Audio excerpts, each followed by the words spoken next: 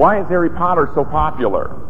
Let's go back to the books then, the series of books. Why is it so popular? The first thing is because it's well written. It's a well written book. It's I've read I read the first one. I, I started through the second one. Uh, the second thing is it's a, it's a lot of fun. I mean, there's a lot of things in the book that are that are fun. Uh, it's very interesting. It actually makes school interesting.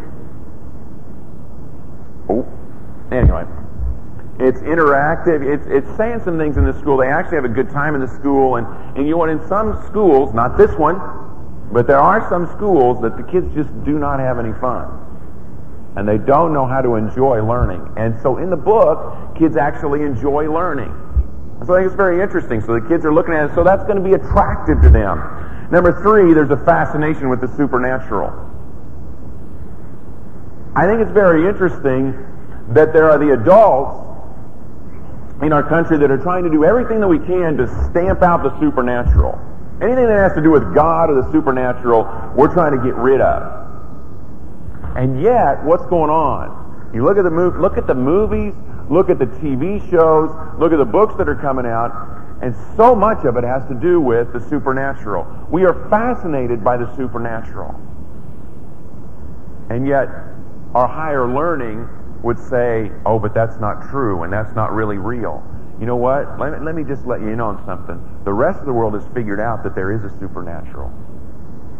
And we here we are, we haven't figured it out there is a supernatural force that is at work in amongst us. Okay?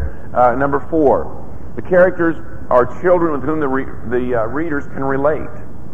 They're real relatable. They're real understandable. They're real people. They have struggles. They have problems. Kids can relate to those things. Number five, the main characters really have good characteristics. They're fairly good people. now, what's right about Harry then? What's right about Harry Potter? The heroes are compassionate, they're courageous, they're self-sacrificing, and they want to do the right thing regardless of the risks. You know what else is right with Harry Potter? It gives us an opportunity to witness. It gives us an opportunity to witness because people are talking about the supernatural, and you can therefore bring in the author of life and talk about the supernatural. It's like, well, let's talk about the supernatural. Let me tell you the one who really is supernatural. I mean, it gives you a great opportunity to try to witness to somebody about Christ. Okay, I, I'm not going to tell you to be a book burner because I don't think that that's what we're supposed to do. You engage in society. You don't become like it, but you engage in society, and all you got to do is look at the book of Acts, and you'll realize that that's what Paul did. He took the books that were popular, and he says, now, let me show you and he turns them around to use them so that he can witness for Christ. These can be great tools to witness for Jesus Christ. Number three, I think it's very interesting. At one point, Harry in the first book is protected, and he is protected by love. He is protected by the love of his mother. There was, a, there was somebody that was out there that was trying to cast a spell on Harry, and this is when Harry is just a baby. And the spell, because of the love of his mother, the mother wasn't there, but because of the love that the mother had for Harry, the spell hit that love and then bounced back upon the one who sent the spell. Somewhat biblical. There was one who loved us so much that he stood in the gap for us, and the curse that was supposed to go to us fell upon him. And then that curse went back. Right? That's the gospel. That's the gospel. And right there I read that. I thought, oh, that's it.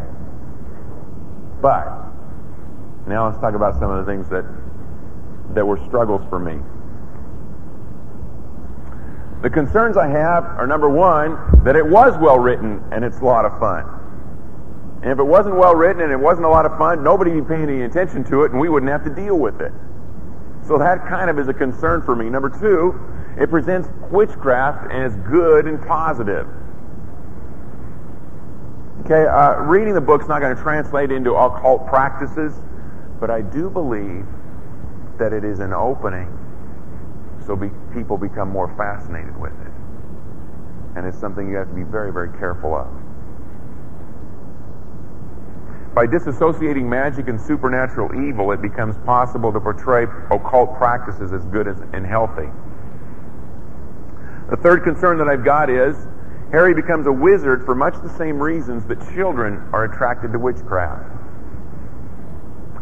Why do people get into witchcraft? They get into witchcraft because they're neglected, because they're abused, because they're the derelicts of society, because they're scum, or so they think. Harry, in the beginning of the book, had been tormented, abused. He ends up having to stay with a step family, which is an aunt and uncle who don't even care for him. He ends up sleeping most of the time in a cupboard. Uh, they don't they don't acknowledge his birthdays. And suddenly then somebody comes and says, "You know what? You're supposed to be a wizard." That is the dream of every neglected and abused child for somebody to walk in and say, you know what? You're important. And witchcraft does that for children. For the same reasons that Harry gets into witchcraft are the same reasons that our children in society right now get into witchcraft.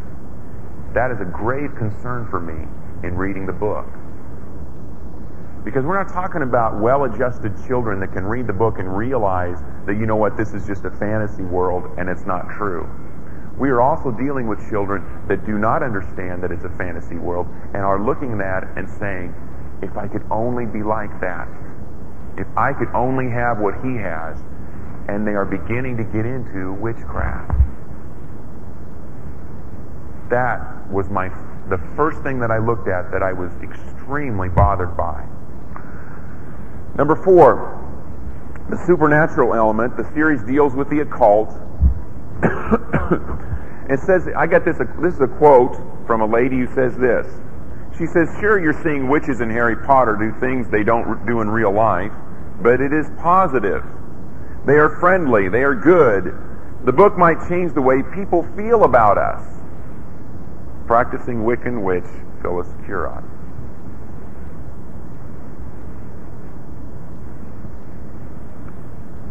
It deals with the occult. You know what? Our society deals with the occult. The occult. Buffy the Vampire Slayer, right? What is it dealing with? It's dealing with the occult. Sabrina, uh, Charmed, and uh, of course the latest. I guess this latest show. I haven't seen this one. The one that's called Crossing Over, where you can actually connect with the dead, your dead relatives through this guy. Can I? T- you know, you, you take it for what it's worth. It's my opinion. But you know what? If you're watching those shows, you are foolish. There is what the scripture says, what has light to do with darkness? What has light to do with darkness? The movies, those shows are dark. Those shows are oppressive. Those shows are occultic. Why would you immerse yourself in that? Just my opinion. You can do with it what you want. But why would you spend hours in front of that? Well, let me ask you this. If you're spending hours in front of that, are you still spending hours with this? And what are you spending more time with? It will have an effect. Occult situations always have an effect. Okay, the supernatural element, what happens is, is that Harry Potter, they're assuming a supernatural realm. Here's the other thing. This is another thing that really bothers me about the book. the supernatural element here. Uh, there is this world within a world. Okay, the people that aren't that aren't uh, witches and wizards are called muggles. M-U-G-G-L-E-S. They're called muggles. Okay, and these are the unenlightened people that don't have any idea that there is a world that's out there that is the supernatural.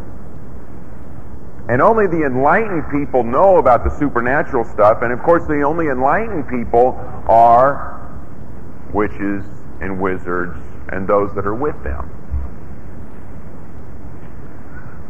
What bothers me is this now we're looking at the big picture. Okay, I want you to look at the bigger picture. if you if you pull this together with like Buffy and you pull it together with like Sabrina and, and different things like this, what I believe is going on is Satan is rewriting the book on the supernatural. And he's elevating himself as the only one that really has supernatural powers. And the only one that has supernatural powers or anything that's supernatural is going to have to do with witches and witchcraft and occultic activities. See what I'm saying? And, and, and then it's pulling down anything that has to do with Christianity, has anything to do with religion that's good, and they're saying, you know what, there's no supernatural element in that. And what's sad is, is that some, I really believe this, that some of the church the body of Christ is believing this. That there's really no supernatural element with God. How can you not think that there's anything supernatural when it has to do with God? You see what what's going on is it's, it's this switch, this gradual switch where, where, where Satan is becoming more important, and he's the one that's writing the book on the supernatural, and God is just taking this not only a back seat, he's being pretty much rewritten. He's being written out. You know, you see that in our history books. You know, our history, they've, they've written out anything that has to do with religion. They've written, written out anything that has to do with Christianity. You have to go back and look and to realize that much of our country is based not on Christianity, but much of our history is based upon Christianity and is based upon revivals that have happened in our land. The Second Great Awakening preceded the Civil War. The Second Great Awakening happened across the United States because of the Second Great Awakening, which was a, which was all these preachers going out and preaching all through the land, people being becoming converted. There is there was a fervor to get rid of slavery. And the history, the history books will not write this, but I do believe that the reason for the part of the reason for the war between the states, the, the reason for the, the north side, part of the north trying to get rid of slavery has to do with Christianity. Because people began to get saved, people began to realize the dignity that every person had, and it began to change the face of our country. But you'll never read that in a history book. What is going on is, is that, that gradually anything with Christianity and religion is being written out or being passed off as it doesn't count. Now, that doesn't have to do necessarily with Harry Potter. I'm just trying to get you to see the big picture. There's something beyond just these series of books. You know what? These series of books will come, and then they're going to go. And that's going to be the end of it. But the influence that they have will last beyond that. And that's what my concern is. It's with these books and with other books that go along with that. Okay, so the supernatural element is there. There is a supernatural world, by the way. Uh, Harry talked about it last week. Ephesians chapter 6, verses 10 through 12 is talking about the, the hierarchy in the supernatural realm. Let me give you some other scriptures that go with that. Ephesians 1.21. You can look these up later on. Romans 8.38. Luke 10.18. Jesus stood there and he said, you know what? I saw Satan fall from heaven. There is a supernatural world. There is something that's going on in the supernatural. Acts 13, 7 through 10 and 16, 16 through 18 deals with, with casting out demons. It has to do with the occult and getting rid of the occult and getting rid of the occult because of Jesus Christ. There is one who is greater than the occult activities. C.S. Lewis, anybody read the Screwtape Letters? Have any, any of you ever read that? I would encourage all of you to read this book. It's called The Screwtape Letters. It was written by a man named C.S. Lewis. He was writing as if it were two demons that were talking to try to bring down a Christian. And you read through this book, and you're going to see some things in there, and you're going to see the things that you fell for. Because I read the book, and I saw things that I fell for. Eye opening. But what it's talking about is two different demons that are at work trying to bring a Christian down. One of the things that C.S. Lewis says is this. He said there are two equal and opposite errors into which our race can fall into about the devil. One is to disbelieve in their existence, which a lot of people do. The other is to believe and to feel an excessive and unhealthy interest in them. They themselves are equally pleased with both errors and hail a materialistic or a magician with the same delight. Do you know that most Christians, the majority of Christians, believe that there's not a devil? There is one. And Scripture clearly teaches that. That there is a real devil and he is out to destroy the lives of other people. He has angels that are with him that are trying to do the same thing. Our struggle is not against flesh and blood, but against principalities and powers and rulers of this dark world. Ephesians chapter 6. That is exactly what's going on, and there is a devil at work in this world. And he is out to destroy you. Let's look at number five. The supernatural element without God is the authority. I want to compare. I've read before I read the book, before I read Harry Potter, the first one, uh, I have read, and I've read several opinions from different Christians. Some that are think there's no problem with it, all the way to the other extreme, which is you absolutely shouldn't have it in your house. You better burn them immediately. I've read those. I've read everything in between to try to figure out and try to discern, Lord, what is it that you're really trying to say. When these books are talked about, they're compared with two other series of books. One is the Chronicles of Narnia, which is written by C.S. Lewis, and the second is The Lord of the Rings, which is written by Tolkien. Tolkien was a Christian and actually helped to bring C.S. Lewis to Christ. I've read both of the other series, Chronicles of Narnia and The Lord of the Rings. Lord of the Rings is much more difficult for children 11 and 12 to read, but if you have not read to your children or have not gotten them to read the Chronicles of Narnia, you need to. Because it is clearly a better series and it is clearly a series that focuses on Christ. It's great, great allegory about Christ and about what God does in the lives of people. I love the last book. It's called The Last Battle. It's one of my favorite books.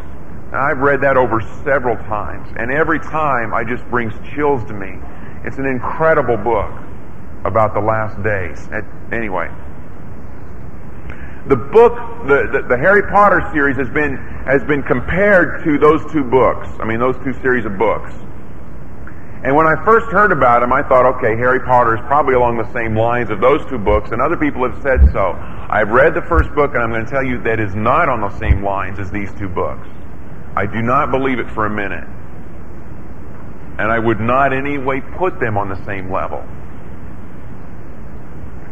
These two books, both C.S. Lewis and the Tolkien books, both are worlds that are set apart from our world.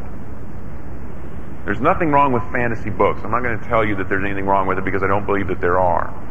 What I'm trying to get you to see is that there's there's differences that we need to look at.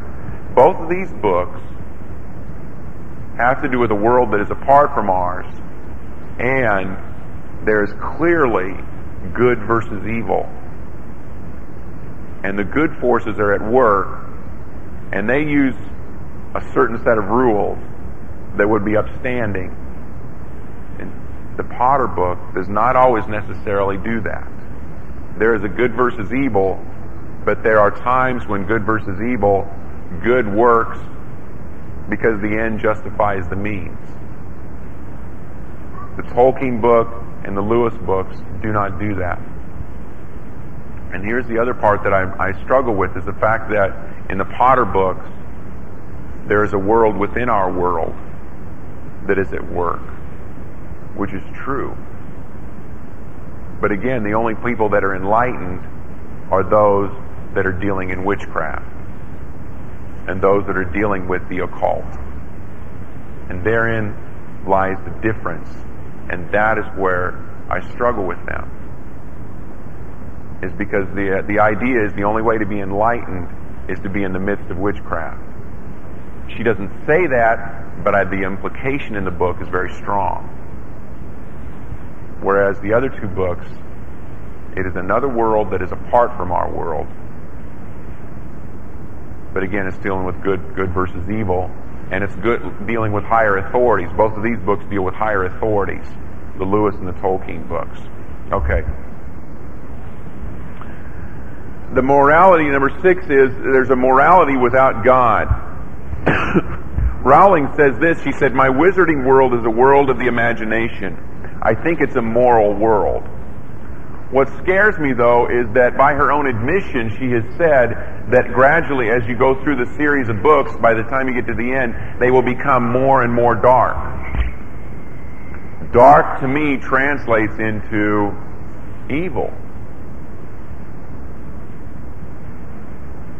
I don't know how else to translate it.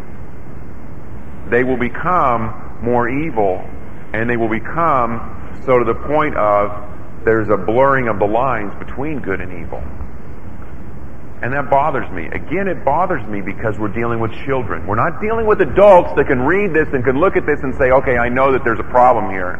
We're dealing with kids that at this point do not have the discerning, discerning ability to be able to tell the difference. So this what does this give to us? It gives us opportunities for Christians. Ephesians 5:11 says this, have nothing to do with the fruitless deeds of darkness, but rather expose them. What does this do for us as Christians? Number 1, I don't believe you can just condemn the books without any argument. I'm not telling you to condemn the books. What I'm telling you to do is you need to have an argument as to why you have problems with the books, if you do. And personally, I do. Why? You know, Christians, we have a problem here in the sense of we just wholesalely condemn things and just throw them out, and then the world condemn, just wholesalely throws us out because we've got no decent argument. We just say, well, it's bad and they're bad, and we should just get rid of them as Christians, we must have a logical understanding for why we believe what we believe and what we want to say in rebuttal to the words that are spoken. Okay? Number two, I think it gives us opportunities because then we can discuss where the moral virtues of Harry come from. The moral virtues from Harry come from a moral God. They come from somebody, somebody that's a higher authority.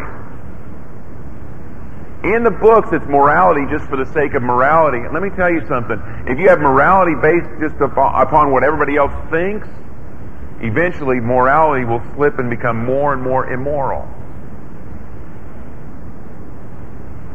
What it becomes is a society that morality is based on, and, and hear me now, because the postmodernist idea is this morality is based on what the majority thinks. Morality is based on what the majority thinks, and morality is based on whatever I think. What's moral for me is not necessarily moral for you. And you know what you have? You have this mishmash of nobody can figure out what's right and what's wrong. Once you remove God from the situation, you're going to end up with chaos. Because God becomes the center of authority. And when you remove that authority, then you have everybody doing what was right in their own eyes. And you know what? If you have everybody doing what was right in your own eyes, it will become gradually more and more immoral. And if you don't believe me, go back and look at your history. You can see society after society because that is what has happened. Morality is based on the majority, and morality without God sinks into fascism, and Nazism, communism, totalitarianism. Okay. Number three, the opportunities for Christians.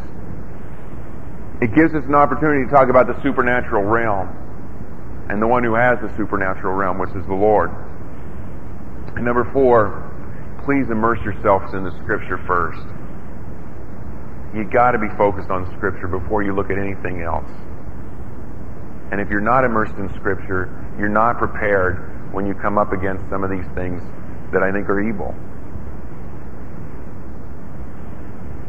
Then again, your decision is based on what the morality of the society is rather than the morality of what God has set up. Let me give you the bottom line. Just my opinion again. You can do with it whatever you want. I don't think you ought to go to the movie. Okay, and the re- let me give you the reasons for it. I am not going to elevate something that I see as wrong. And you elevate something by putting your money into it. Hollywood sees that. We're going to put our money into it. Number one, we look we look stupid as Christians because we say one thing and do another. But you know what? I, I can just I haven't I've seen the trailers and I know enough to realize what Hollywood will do, and they will elevate the witchcraft part of it. They just do. Because you know what? That's what sells. Supernatural stuff is what sells. And so they're going to do that. I got to tell you, I think that some of the special effects will look really cool, but I'm not going to go see it because I don't want to elevate something that I think is wrong. I wouldn't go to the movie. And I don't think you ought to take your kids to the movie. Okay, but then again, that's my opinion. You can do with it what you want. I don't think that you want your kids picturing that. Number two, I think it glorifies witchcraft. And I think you have to be very wary of that. Anytime that there's a glorification of something that is evil, you have to be aware of it. Again, I'm not going to tell you to burn the books. I am telling you, you need to be very aware of the things that are going on here. There are some good things about the book, but there are some things that are very evil about the book. Worldview, number three, the worldview of, of uh, the book differs greatly from the worldview of Christianity. Again, the worldview according to that book is that uh, the only enlightened people are witches. The only people that really know what's going on are those that are that are into witchcraft and wizards, other than Christianity. Uh, the last thing is that I I believe that it leads people. It doesn't always, but it can lead people into a fascination with other things that are occult in nature. It leads you to a greater fascination with things that are evil. And it becomes an alternative.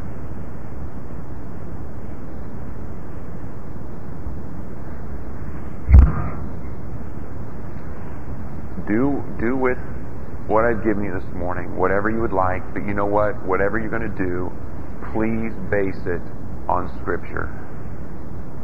Please base it on what is right and wrong according to Scripture and according to what the Lord would tell you. You know what? If you say, Well, I still want to go see the movie, you know, do this for me. You pray and say, Lord, what would you have me do? And then don't do like my children do run off and wait, not wait for the answer. You listen. You listen for the answer. And then you'll be obedient. If you do have the books, you know, if your children have read them, you better sit down and read them. You better sit down and read them. You better go through them with your kids. You better talk to them about the areas where there are problems. Because you know what? Kids will walk out of reading those books and say, witchcraft is okay. And don't assume that because your child goes to church and goes to a Christian school that they're going to know better. Because they will not necessarily know better. You are the one, as parents and grandparents, you are the ones that set the tone for what they're going to believe and not believe. And you need to very clearly sit down and say, my son, my daughter, here are some things that I'm struggling with. Here are some things that I believe that are not right. And lay it out for them. They're going to roll their eyes and say, oh, dad, oh, mom, you're going to do whatever it is that they're going to do, but you know what? They will listen. And they need to know what you believe. Because if they don't know what you believe, they're going to come up with their own belief system. And the world is more than willing to give your child a belief system that is contrary to what Scripture teaches. Sit down and talk to your kids. Lay it out for them. If they've read it, or if they choose to read it, or if you choose to read it, you know, that, that's up to you. But you had better talk to them about it. And you'd better lay out what's evil and what's not. I wouldn't take my kids to the movie. If my kids were old enough, I wouldn't do it. And you know what? Some of you are going to say, but they'll be the only kid in school that, that won't go. Hmm. I think that's scriptural. Because Jesus talked about that. That you're going to be, there's times when you're going to stand alone. Rather stand alone for what's right.